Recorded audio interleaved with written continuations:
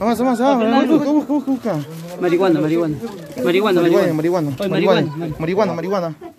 Marihuana, marihuana. Estos son los momentos en que agentes policiales intervienen a una presunta integrante de la banda delictiva Nueva Generación El Porvenir.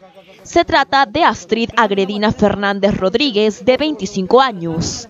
En el interior de su domicilio, en la calle Indoamérica, Manzana 3, lote 19, en el sector Gran Chimú del distrito trujillano del Porvenir, se encontró dos revólver, cinco municiones calibre 38 sin percutir, tres casquillos de balas, un chaleco policial, un cartucho de dinamita y marihuana.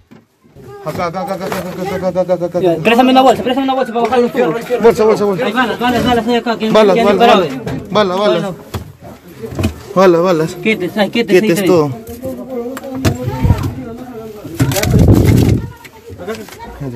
La policía informó que también se detuvo al presunto líder del grupo criminal, el hermano de la intervenida, Lisandro Stencer Fernández Rodríguez, alias Lisandro.